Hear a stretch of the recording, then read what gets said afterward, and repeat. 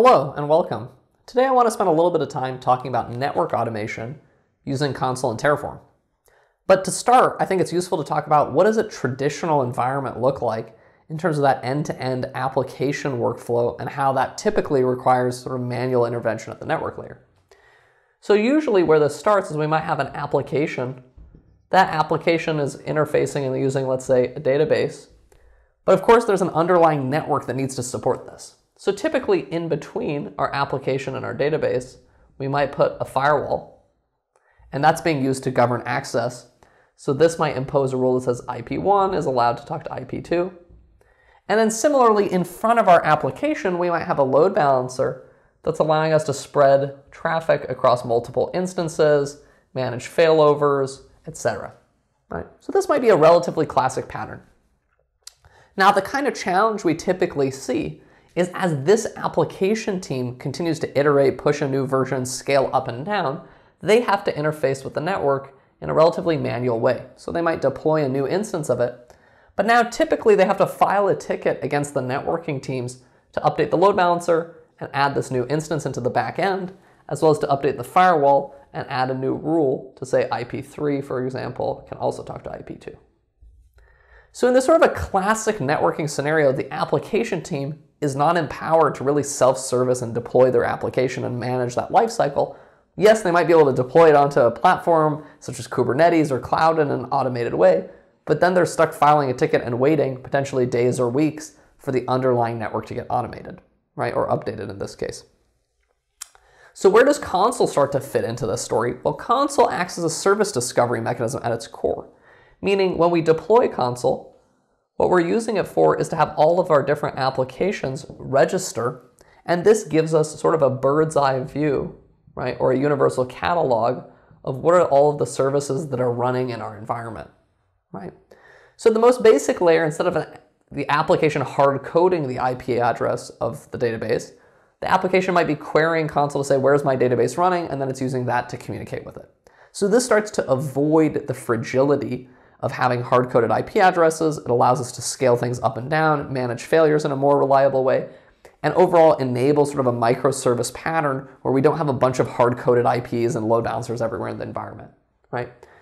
But in this case, we still have a firewall and a load balancer. These might be hardware devices, might be software appliances that are in between and those things have a set of rules that need to be managed. The load balancer needs to know about the backends, the firewall needs to know which IPs to grant.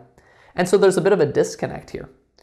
And so this is actually where Terraform then comes into the picture, which is really looking and saying, okay, should we be managing the underlying set of IP addresses for the firewall or the underlying set of IP addresses for the load balancer? Or is what we really care about a higher level policy that says this application is allowed to talk to this database? That's really what we care about. That's what we should manage the IPs are sort of a detail. Consul knows what the IPs are. They're coming and going. We don't really care to manage them all the time. So this is really where what we enable is with Terraform, you actually author an infrastructure as code definition, right, using Terraform, on how to configure this underlying device. So in this case, this might be a Palo Alto firewall, but over here we might say, great, I have a different configuration for how I should be doing, you know, again, this is infrastructure as code with Terraform. And here I might say I'm managing my F5 BIG-IP device, right? Where this might be my PAN-OS firewall, right? And so we've partnered uh, with basically everyone in the networking sort of universe, everyone from Cisco to Juniper to Palo Alto to F5 to Checkpoint and more. We sort of list everybody on our website, but all of the core networking vendors have done the work of standardizing by building a Terraform provider that allows you to manage their underlying either hardware device or software appliance, or it might be an SDN type network fabric. So we can define the rules in Terraform about how to manage those. Now, what we don't want to do with Terraform is just move the hard-coded IPs from the firewall's configuration into Terraform's configuration and have a whole list of hard-coded IPs in Terraform so that now every time we update the app, we have to now come and modify the infrastructure's code and manually do another apply, right? Instead, those become sort of a variable input to our script, right? We'd say our variabilized input, you know, is the set of IPs for my app. It's the set of IPs for my database in this case, right? For the load balancer, it might only be the set of IPs for the app. But that is a variable that is being fed into this Terraform configuration. We're not going to hard code those because Consul has a real-time dynamic view of what all those variables are. So how we actually enable this end-to-end -end is by marrying Consul and Terraform together. So that when this application gets deployed, it registers with Consul.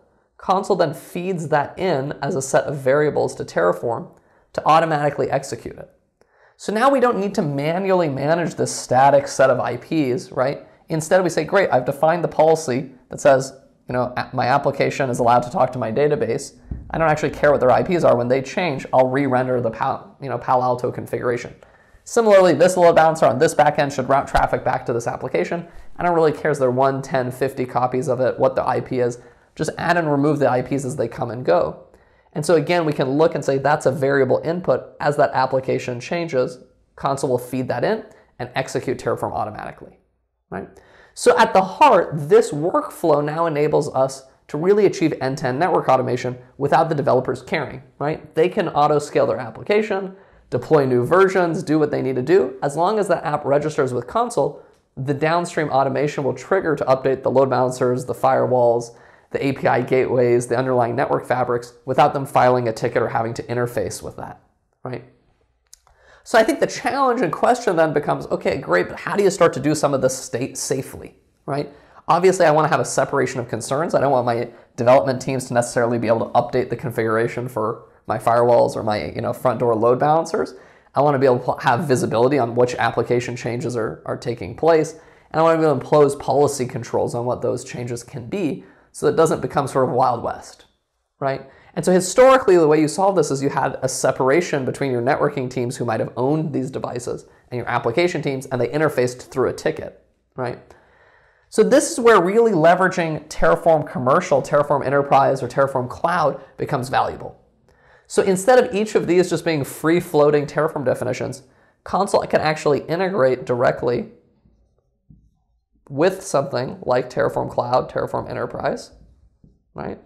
And so what this allows us to then do is for each of these definitions, for each of these different devices, we can now connect this and define a Terraform workspace.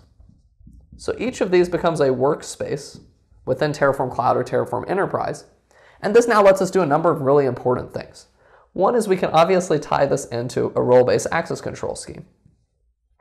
So we might say, great, only my actual NetOps team they're allowed to come in and modify the Terraform definition, right? I want my networking team or my platform team, they own what the codified definition of this is. My developer shouldn't be able to modify it. Maybe they have permission to come in and read it. They should be able to see how it's configured to debug something or understand the system, but they don't actually need permission to be able to modify anything, right? So now we can tie each of these into their own workspace and apply role-based access control around them, right? The next really important piece is now we have sort of an audit trail, right? As well as sort of full visibility on all of these networking changes, right? So every time an app is coming and going, it's going to register that with Consul. Consul will detect it, and if there's an appropriate you know, downstream that needs to be triggered, Consul will then interface with Terraform and trigger an update to that workspace. But now we can actually come in and see the history of those runs what were the variables that were fed into it? When did a change take place? Maybe that correlates to an incident or sort of a degradation or maybe a, just a change in, in sort of network performance. And so we want to be able to have that kind of visibility of what changes took place, when did they take place, what was the trigger and cause for those things. So by using Terraform Cloud and Enterprise, we actually get that history. We have that sort of provenance of how did this take place, what took place. Then lastly, we can actually use some of the same policy as code frameworks, right? So we can apply policy as code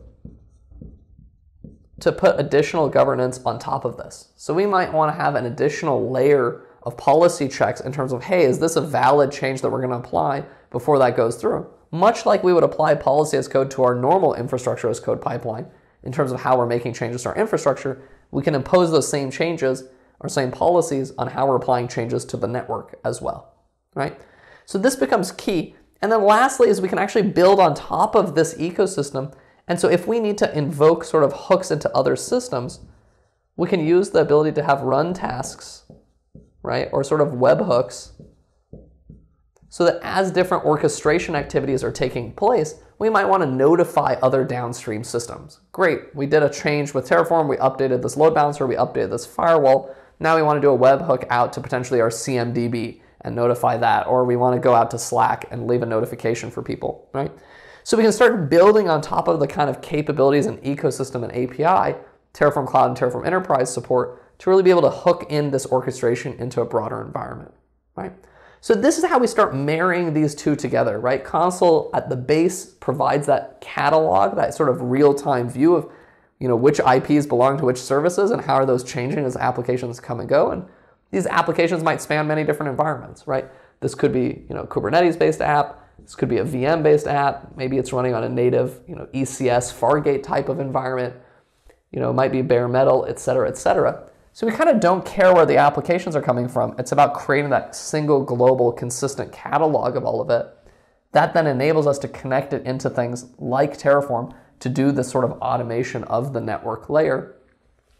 And then of course, bringing in things like Terraform Cloud, Terraform Enterprise really allow us to do it in sort of a safe way and a kind of an enterprise scale, right? Having role-based access control, having the visibility, being able to do policy governance, you know, being able to reuse modules right? That becomes another key piece here, right? So how do we reuse modules and definitions across multiple different things, right? If I have, you know, multiple F5s, I don't want them to all be done in a different way. I can leverage the private registry, reuse my Terraform scripts, and do it in kind of a consistent way across the environment, right? So it's really about doing this safely at scale, but ultimately enabling that sort of end-to-end -end automation of the network. So hopefully this was helpful uh, just to learn a little bit more about how we think about sort of end-to-end network automation and, and sort of the power of bringing Terraform and Consul together. Thanks so much.